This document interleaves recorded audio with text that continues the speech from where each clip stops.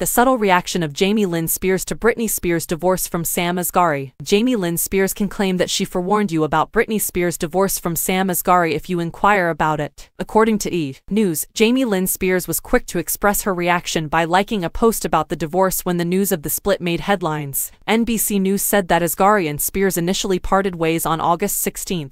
Asghari then filed papers to formally divorce Spears. According to a source, they're separated and it's best for Britney, according to the gossip period. Numerous allegations concerning his relationship with Spears and the reasons he departed have been aired publicly by the singer's ex-husband. He claimed that Spears had assaulted him, beating him while he was sleeping, and that she had been unfaithful to him. Asghari filed for separation with a start date of July 28, 2023, officially alleging irreconcilable differences to heighten the drama. The Black Monday actress is also asking for spousal maintenance and legal expenses in addition to the divorce, according to the document, has yet to fully determine the nature and extent of the separate property, assets, and obligations of each party. Spears' prenuptial agreement, which leaves Asghari with almost nothing, is a sticking issue in this case. The prenup already rules out any financial benefits, including spousal assistance. All that he is permitted to claim is his or any presents, his automobiles, and a few other trinkets. Additionally, he will be bound by a rigorous NDA that forbids him from disclosing to the public the intimate details of his connection with Spears. Asghari might contest the prenuptial agreement and do so in court, but the likelihood of it being upheld is low. Asghari's representative at Back Talent responded to allegations of exploitation by saying, There are many claims that Sam is contesting the prenup and threatening to exploit his ex-wife with videos.